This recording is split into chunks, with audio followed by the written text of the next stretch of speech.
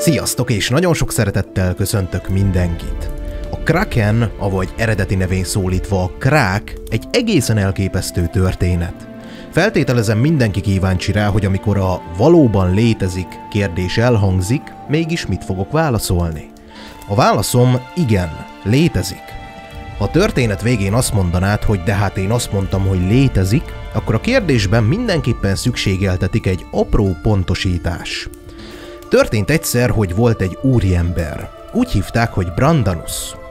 Brandanus a 6. században élt Írországban. Írországnak van egy nagyon fontos tulajdonsága, ami nagyban hozzájárult ahhoz, hogy a Kraken legendás története megszülessen. Körbeveszi a tenger. Brandanus mondjuk, hogy munkamániás volt, és a szabadidejét azzal töltötte, hogy kolostorokat hozott létre. Ezeket a kolostorokat benépesítette különféle barátokkal, és ennek következtében szenté avatták. Szent Brandanus történetét pontosan azok a barátok vetették papírra, akiket ő maga hozott a kolostorokba. Az említett barátok írtak egy könyvet, amivel hosszú ideig nem foglalkozott senki, de aztán 1471-ben a nyomda feltalálását követően a német-római birodalomban ezt is kinyomtatták. A történet szerint az volt, hogy Szent Brandanusnak egyszer ajándékoztak egy könyvet. Ez a könyv a tengerben megtalálható csodákról szólt. Viszont Brandanus azt mondta, hogy csupa ostobaság. Fogta magát és a könyvet belehajította a tűzbe. Na ez hiba volt, ugyanis megjelent egy angyal, és eképpen beszélt. Brandanus, miért dobta tűzbe az igazságot? Az Úr még nagyobb csodatételekre is képes, mint amilyenekről olvastál.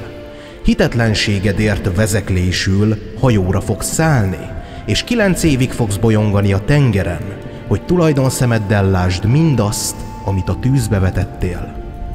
Brandanus 9 évig tartó tengeri utazása az technikailag olyan, mint a keresztény Odüsszeja.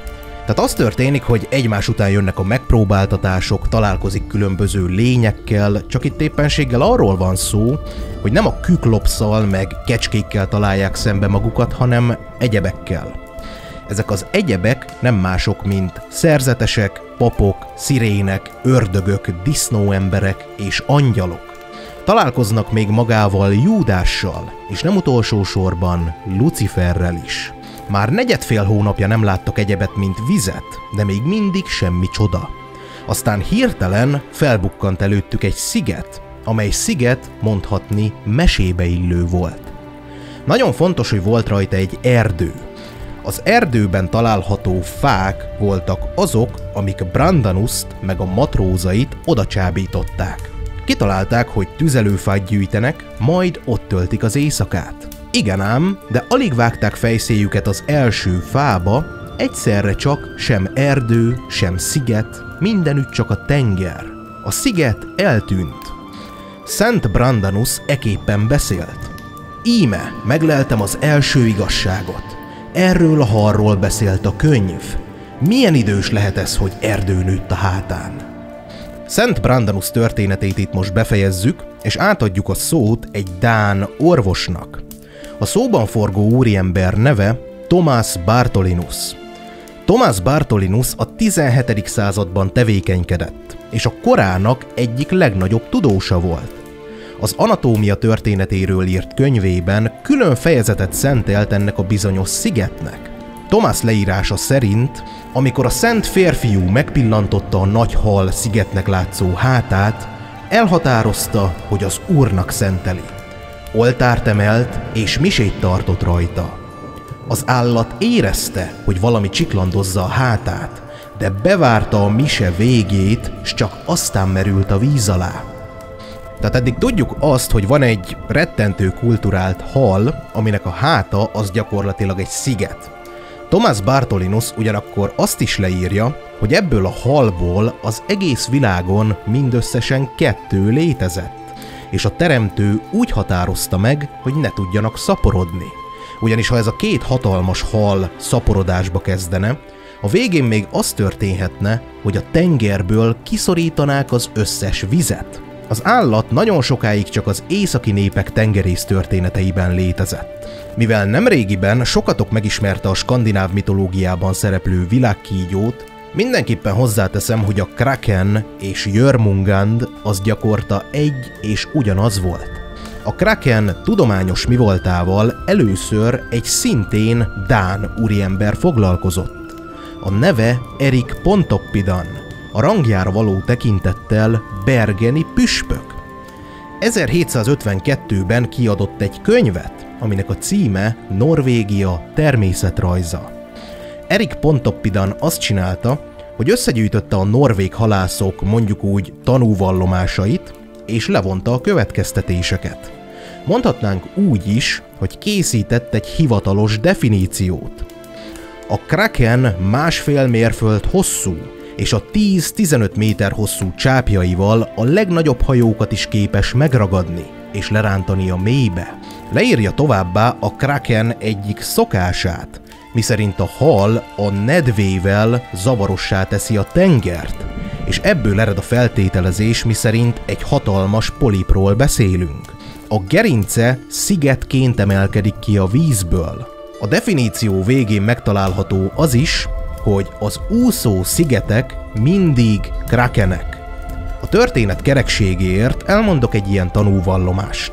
Londonban történt a következő. Előttem John Blaine, a Boots-szigetek főbiztosa előtt 1775. április 22-én megjelent Robert Jameson, tisztes hírű férfi. Miután vallomására az esküt letette, a következőket adta elő. Az előző évi augusztus 10. napján Janet nevű halászbárkájával Glasgow kikötőjéből kiindult a tengerre. Egyszerre egyik embere figyelmeztette, hogy mintegy három mérföldnyire egy sziget látszik, amely azelőtt nem volt ott. Csak ugyan tisztán látható volt egy körülbelül másfél mérföld hosszúságú sziget. Szélességét nem tudta megbecsülni, mert 5-6 perc múlva a sziget lassan alámerült. Aztán ismét felbukkant, majd újra le. Ez kétszer megismételte, végre teljesen eltűnt a szeme elől. A jelenség mintegy 24 percig tartott. Kívüle a hajó kilenc főnyi legénysége is látta. Megkérdeztetvén, hogy hallott-e valamit a Kraken nevű tengeri állatról, azt felelte, hogy csak mostanában hallott, akkoriban még nem tudott róla semmit. Azonban nem a dánok, nem a norvégok és nem is a svédek voltak azok, akik tudományosan elfogadható magyarázattal szolgáltak. A Kraken legendájával kapcsolatban egy német úriember volt az, aki megfejtette a titkot. A német úriember neve Johann Georg Krünitz. Johann írt egy enciklopédiát, az Ökonomische Encyklopédit, amiben elmagyarázta, hogy hogyan keletkezett a Kraken. Az előbb hallott Jameson tanúvallomásához azt írja, hogy annak egyszerű a magyarázata. Tudnillik bizonyos irányú és erejű szelek hatására apá idején a víz a szokottnál mélyebbre húzódik vissza, és a sekély vízből előtűnnek addig rejtett sziklazátonyok. Ha megindult a dagály, a hullámok megint átcsapnak rajta, és ez távolról csak ugyanazt a látszatot kelti, hogy egy óriási test emelkedik ki a vízből, majd megint alásüllyed. Érzékcsalódást okozhatnak az úszó szigetek is. A hajók olykor találkozhatnak igen nagy terjedelmű úszó tömegekkel, amikre a babonás tengerész rámondhatta, hogy íme, a Kraken.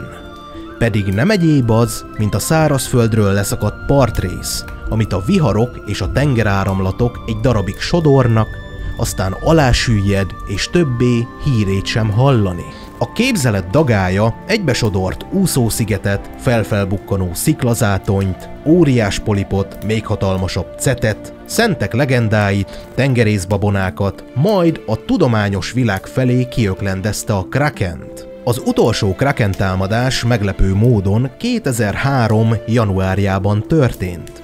Egy francia hajó veterán kapitánya, bizonyos Olivier de Kerzuson azt mondta a sajtónak, hogy az indulása előtt néhány órával egy ilyen szörny megragadta a hajótestet, és erősen belekapaszkodott. Állítása szerint, amikor a hajó megállt, a szörnyeteg elengedte a zsákmányát. Majd eltűnt. Visszatérve a videó elejére, valóban létezik a Kraken? Igen. A Kraken valóban egy óriás polip? Nem. Nagyon fontos megérteni, hogy amikor egy tengerész legendáról beszélünk, akkor mindenképpen figyelembe kell venni azt, hogy a tengeri viharok csodákra képesek. Az egyszerű ember olyan dolgokat is megpillant, amik valójában soha nem voltak ott, vagy csak nem olyan formában.